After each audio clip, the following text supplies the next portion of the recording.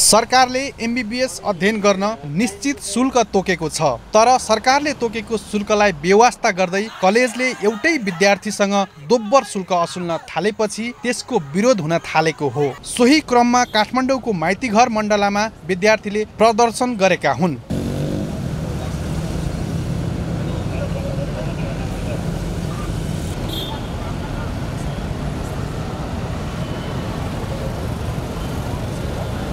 सरकारले चालिस लाख शुल्क तोके पनि अस्सी लाखसम्म शुल्क मेडिकल कलेजहरूले असुली गर्न थालेपछि विद्यार्थीहरू सडकमा आएका हुन्। प्रदर्शनमा सहभागी विद्यार्थीले मेडिकल कलेजहरूले मनपरी रकम असुली गर्दा पनि सरकार मौन बसेको भन्दै आक्रोश समेत व्यक्त गरेका छन्। हाम्रो यो मेडिकल शिक्षामा अहिले यो एक प्रकारको लुटतन्त्र भइरहेको छ यसको विरुद्धमा चाहिँ हामी यहाँ उभिएका छौँ सबैजना।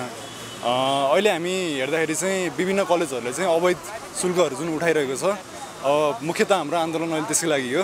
शुल्क वृद्धिको विरोधमा गण्डकी र चितवन मेडिकल कलेजका विद्यार्थीहरूले यस अघि नै आन्दोलन थालेका छन्। कानुनले चिकित्सा शिक्षाको नियमन गर्न जिम्मेवारी चिकित्सा शिक्षा आयोगलाई दिएको छ। तर आयोगले पूर्णता नपाउँदै मनलाग्दी ढङ्गबाट मेडिकल कलेजले शुल्क उठाएर शोषण गरेको विद्यार्थीको आरोप छ। मेडिकलमा भइरहेको ठगी भनौँ न विद्यार्थीहरूलाई ठग्ने राज्यले त्यो कुरा नहेरिदिने होइन? यसको विरुद्धमा हो।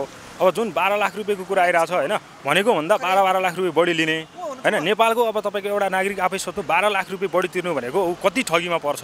आन्दोलनमा ऐक्यबद्धता जनाउन चिकित्सा शिक्षा सुधारको माग राखेर लामो समयदेखि आन्दोलनरत डाक्टर गोविन्द केसी पनि पुगेका थिए। डाक्टर केसीले सबै सरकारी निकायको मिले मतोमा मेडिकल कलेजले अवैध असुली गरिरहेको आरोप लगाए। शिक्षा र स्वास्थ्य क्षेत्र भनेको सेवामूलक क्षेत्र हो हेर्नुहोस्। तर नेपालमा शीर्षस्थ नेतादेखि लिएर मन्त्रीहरूदेखि लिएर के अरे चाहिँ अरू नेताहरूदेखि लिएर सबै मफियाहरूसँग मिलेर दलाल बिचौलियाहरूसँग मिलेर के छ भनेदेखि शिक्षा र स्वास्थ्य सेवाको चरम नाफामूलक क्षेत्रको रूपमा परिणत गरेका छन्। राज्यले नै मेडिकल माफियासँग मिलेकाले आन्दोलनको विकल्प नभएको डाक्टर केसीको भनाइ छ। केसीले केही दिन अघि चिकित्सा क्षेत्रका सुधारका माग गर्दै सात बुँदे माग सरकार समक्ष राखेका छन्। पटक पटक अनसन बस्दै आएका केसी माग पुरा नभए पुनः अनसन सुरु गर्ने तयारीमा छन्।